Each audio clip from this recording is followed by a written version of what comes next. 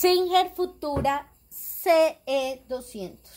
Esto recomendación no solo es para la Singer Futura, para todas nuestras máquinas. Cuando tenemos eh, bobins que son plásticos, miremos, siempre revisemos que el bobín esté completamente liso, liso en su parte que va en la máquina, porque cuando él mueve un poco puede dañar nuestro puntadas porque se enreda. Entonces siempre verifiquen que la parte de arriba esté lisa. Miren este que tenía, entonces la máquina no me estaba funcionando bien, no cosía bien porque se estaba enredando aquí el hilo. Bueno, esta máquina es muy buena, sin embargo con ese enredito y estaba bastante eh, mal enhebrada y mal en la bobina y mira, cose perfectamente.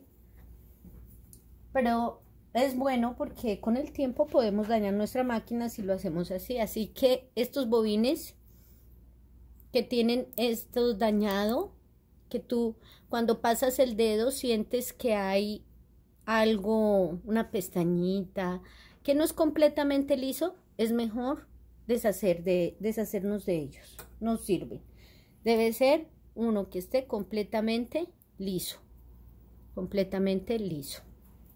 Bueno, para colocar el hilo, recuerda siempre, va, lo colocas en la mano y el hilo va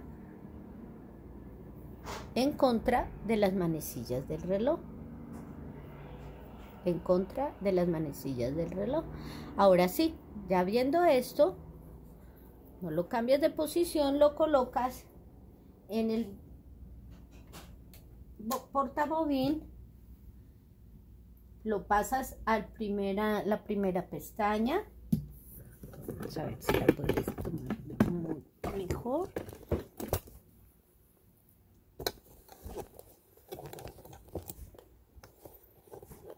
Teniendo el bobín de esa forma, aquí tengo la otra punta de él, lo paso al primer, a la primera pestañita acá. Es esta. Esta.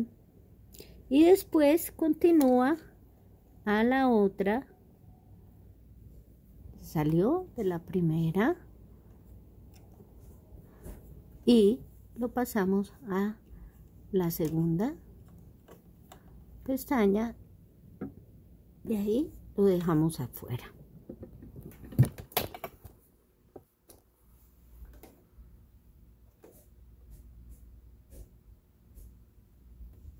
ahora colocamos la tapa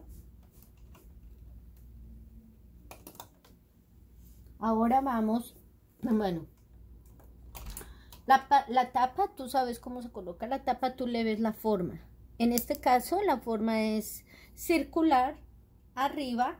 Aquí también es circular arriba. Por, por eso me doy cuenta que en este sentido va la tapa. No va la parte plana hacia arriba porque no tiene como cazar, ¿verdad? Entonces verificas que la forma del plato sea coordine con la de la tapa del portabobina. Lo colocas y el hilo queda ahí. Así, queda mm, de esta forma por fuera de la portabobina plástico. Ahora vamos con el con el enhebrado de la máquina. Siempre colocas el hilo en todas las máquinas. Debes colocar el hilo que vaya hacia afuera. ¿Si ves cómo rueda? Esta es la forma de poner el hilo.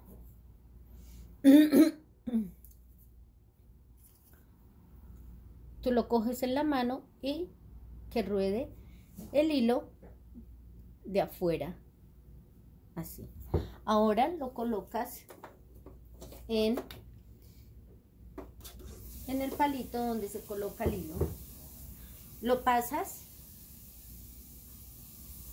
por todo alrededor.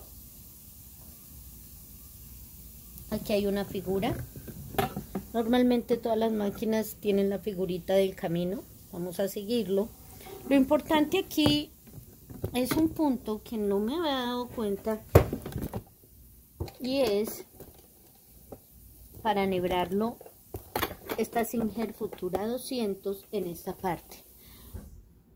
Entonces vas por el camino normal, esta es la primera hendidura aquí, y adentro hacia afuera la primera hendidura y no bajamos hasta abajo, no. Este hilo pasa por esta pestaña, en la pestaña, en esta pestaña, no abajo, sino en la pestaña, en esta pestaña. Lo, baja, lo suben ahora, lo suben y tienen que pasarlo por el gancho. Traten de subir el gancho con la otra mano, la otra mano en la rueda, para poder que el gancho, para que el hilo pase y enrede. Coja el gancho. Bajan.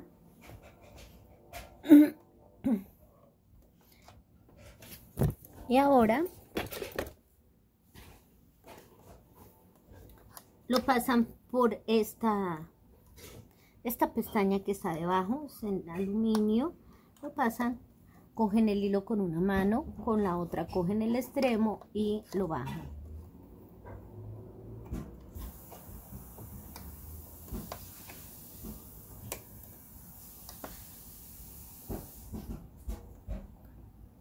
¿Ya?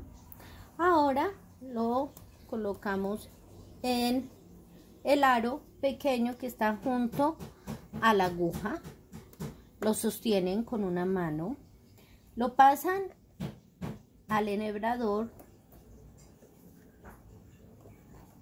y enhebra.